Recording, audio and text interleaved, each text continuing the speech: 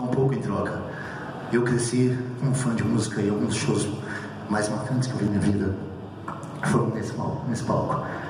E essa altura já me conhecem, eu sou, sou um pouco emotivo quando falo essas coisas, mas é muito emocionante estar aqui e não seria nem um pouco emocionante se vocês não estivessem vindo.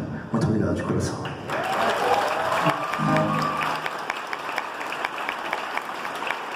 Essa próxima música a gente, a gente não. É a primeira vez que a gente toca essa música em uns 4, 5 anos. É, é uma das minhas preferidas e. Espero que vocês gostem dela também.